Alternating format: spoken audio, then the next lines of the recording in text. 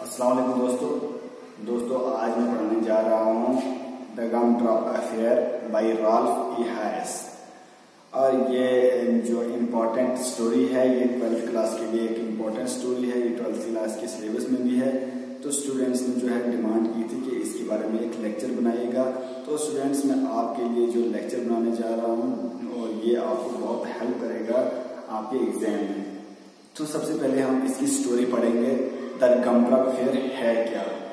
The gum drop fair ये कोई important चीज़ नहीं है, ये टाइटल जो है इसलिए दिया गया है कि जो एडिसन बारनाबाई है, वो मेन करेक्टर है स्टोरी का तो इसको जो है डिपार्टमेंट सीरियसली नहीं लेती थी।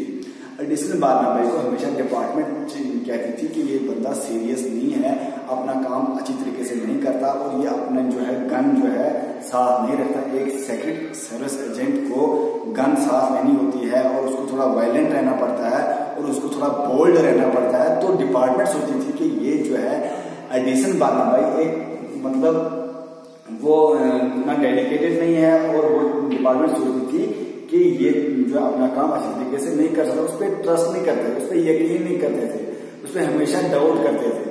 तो उस डाउट की वजह से जो डिपार्टमेंट है डिपार्टमेंट ने एक बंदे को भेजा, उसका नाम है ब्रेन थॉम्सन ब्रेन थॉम्सन को भेजा एडिसन बारनाबाई की लॉयल्टी कैपेबिलिटी और उसकी करेज को चेक करने के लिए।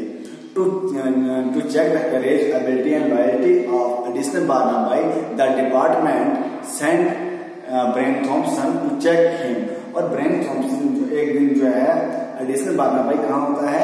अफ्रीका में। वो अफ्रीका में रहता है। तो अफ्रीका में उसके रूम में एक एक एक्सप्लोजिव आता है, एक छोटा सा बैग टाइप का आता है। तो वो बोलते हैं कि उसका जो है, उसने एडिशनल बारनाबाई को अपने जगह डेस्टिनेशन पे उसको पहुंचाना था। तो वो कोडिंग में है और एडिशनल बारनाबाई बोलता है कि मैं इसको डिकोड कर लूँ। और जब वो डिकोड कर लेता है तो वो खुश हो जाता है कि मैंने इसको डिकोड कर लिया।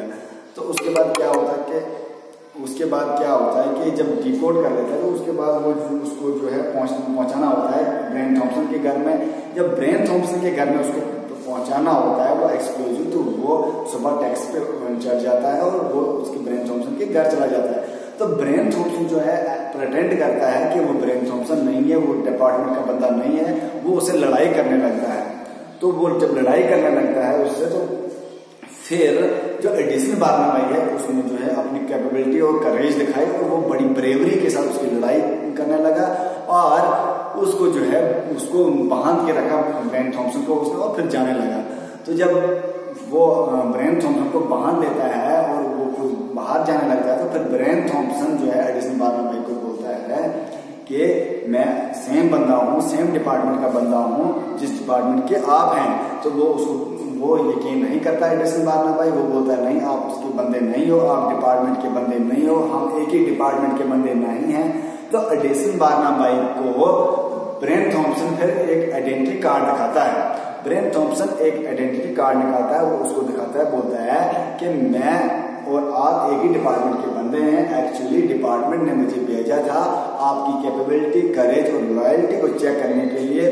क्या आप डेडिकेटेड वर्कर हैं या नहीं? क्या आप अपने काम से खुश हैं या नहीं? क्या आप अपने काम को सही तरीके से करते हैं या नहीं? तो उस चीज़ को चेक करने के लिए डिपार्टमेंट ने मुझे भेजा था, आपको टेस्ट करना है। तो you are pass in test and मैंने आपका टेस्ट ले लिया। आप बड़े ब्रेव हो, आप डेडिकेटेड वर्कर हो और आप अगर गन साफ़ नहीं लेते डिपार्टमेंट जो सोचती थी कि ये ब्रेन ये जो है एडिशनल बारनाबाई गन साथ रखे और वो गन साथ नहीं रखता, बल्कि थर्टी एट अनलोडेड रखता है ताकि कोई बंदा उससे मर न जाए। तो वो जो है पीस लविंग था। तो यहाँ पे जो है एडिशनल बारनाबाई इस गम ड्रॉप अफेयर में अपना टेस्ट पास कर लेता है। Now he dedicated worker and now the department starts trusting him तो डिपार्टमेंट उस पर ट्रस्ट करने लगा। तो क्योंकि वो टेस्ट पास हो गया जो ब्रेन थॉम्सन ने उसे टेस्ट लिया। तो ये टेस्ट जो अनोइंगली लिया गया। ये मतलब उसको बोला नहीं गया था कि आपका टेस्ट लिया जाएगा।